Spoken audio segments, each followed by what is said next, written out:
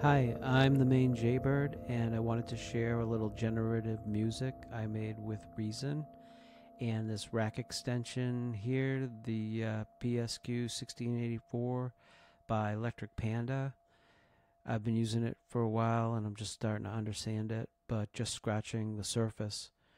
It's a sequencer that triggers instruments with pulses, and there's a lot of ways to divide and randomize the pulses making it great for generative music. What I made has a consistent sound, but it is never the same because of the randomization.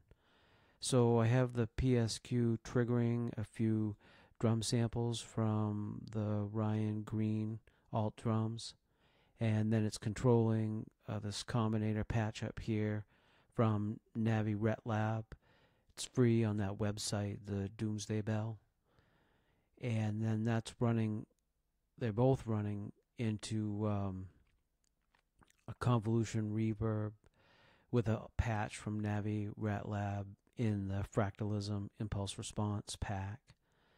I like reverberant sounds that echo and build up to make long reverb tails that swell.